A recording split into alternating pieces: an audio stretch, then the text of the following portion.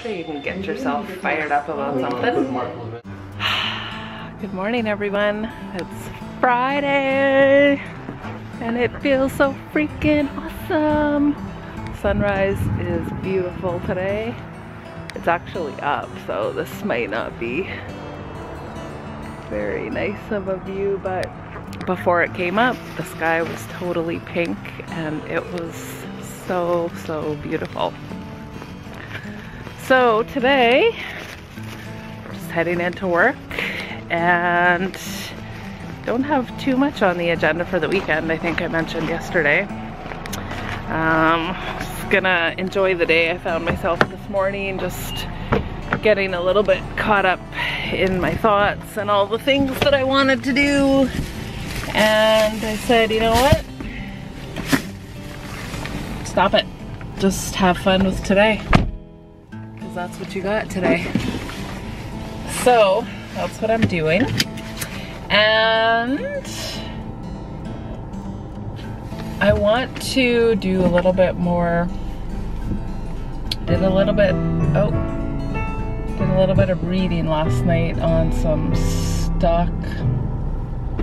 The Motley Fool Investment Guide was like my first intro into investing. I think I may have said that already. And I was rereading some of their materials and one of the things that they highlighted or one of their points was not to invest based on emotion. So I think that's kind of what I want to focus on is just the role of emotion and investing and how to um, kind of eliminate the emotions around it. Anyway, I gotta get driving here, so have a great day. Loves, see you soon.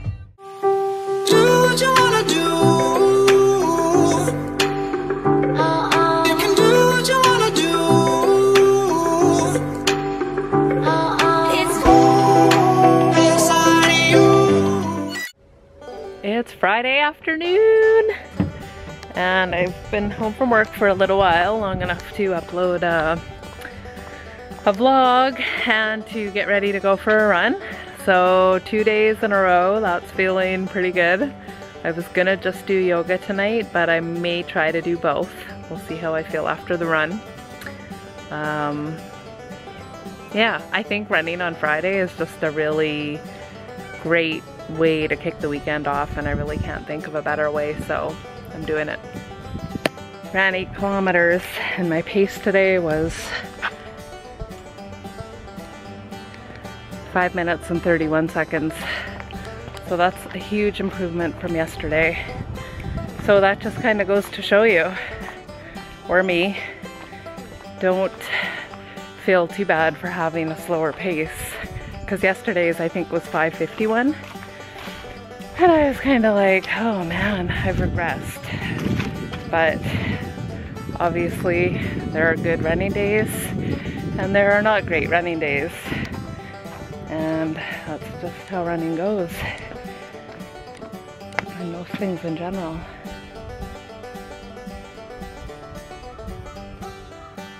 So it's Friday Eve and it's, oh, I don't know what the temp is, but it's really, really nice out here. And I just like the sounds. You can almost like hear this slush and ice melting.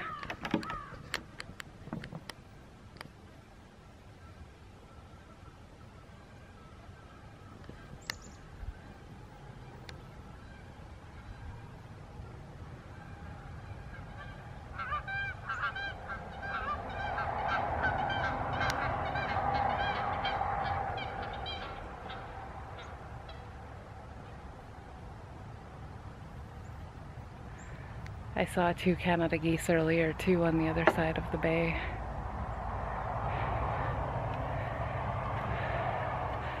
So, it's the beginning of Friday night.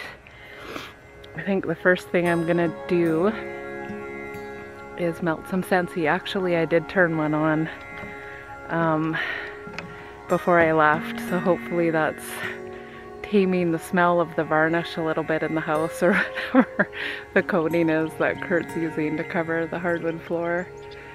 Anyway, the scent is Hemingway and it's a really good scent. It's almost like, it smells like it has some spices in it, like maybe some cinnamon and nutmeg. And it smells like you'd want to read a good book in it. Um, and Ernest Hemingway is just really intriguing to me, even though I've never read any of his books. I did get to tour his um, estate one time and just getting to hear the story of his life and the most memorable things I think were you know he had this separate little house where he went to write in so he had his main house and then he had his writing quarters which was a separate and it was, almost built like high up I can't remember what was supporting it, but I do remember having to climb stairs to go to his writing area. And there was a nice view. His house is in the Florida Keys in Key West. And he just had a bathroom in there, I think, and a writing area. And that was kind of dreamy to me and still kind of is. So that's one thing I'm definitely gonna do tonight is just build on this little comedy writing piece that I'm doing. And um, I'm gonna journal as soon as I get in and have a shower. And I want to listen to Laura's Holy Shift um, call from Monday. She talks about owning power and stepping into power. And I think that'll be a pretty good message. Um, yeah, and then I would like to edit a vlog so that I can maybe do one tomorrow, two on Saturday, and two on Sunday, and do a little bit of B school. So we'll see how it all goes down. Don't think I'm going to be doing yoga, but who knows. see where the night goes. Are we on live? We, we are.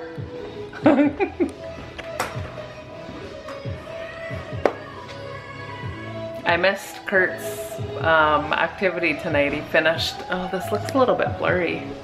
There. Finished half of the last coat on the hardwood it looks awesome and I just lit some candles and it's smelling a little bit risque.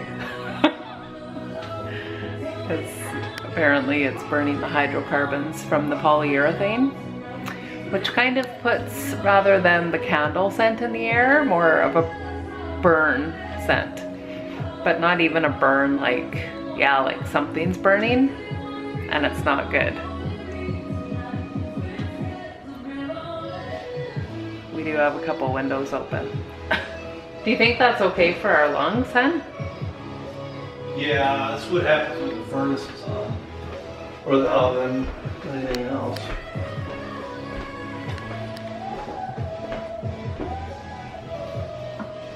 Do you want to talk to the blog at all tonight, hon? Not really. You need to catch me when I'm fired up about something. I am sure you can get yourself fired up about something. Mark Levin on for one. No. So it's 9.19 and I haven't really done any of the things that I said I was gonna do. Um, but I did better. Kurt and I talked about our plans for the summer. And they're huge. Huge. As in the brick look porcelain tile that you can get right now at the Home Depot. And I did journal and shower. Brick look tile is an easy, inexpensive way to add It is a high volume shower head, mm-hmm. hun. Too bad there's the water supply is not high volume supplying it. Coming exclusively to TuneIn. Locked Up Abroad from Laundry is based on the popular television show. Talks to real Well, it's people been a good supply to us. The wrong The time. pressure, you mean? Don't miss a This allows- of Locked Up Abroad.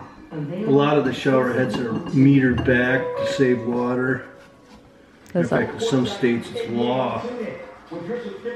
Like California, the, all the shower heads are metered back because they have a shortage of water. But this shower head's not. That's why I bought it. That was like a good, good purchase decision, huh? Yeah. I wonder why they send this thing for women to me. You need to catch tuna like that, huh? Oh, I will. Then we'd have some ah- ahi tuna. I will. tarpon. This is a cobia. That's a big, uh, think that's a, uh, I'm trying to think what kind of jack that is. It's a big jack roll. Holy shiitakes. Nice grouper. Not sure what that's another type of jack.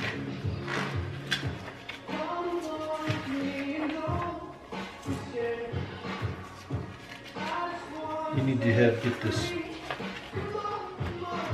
this color hook. Actually, they have nice things for women.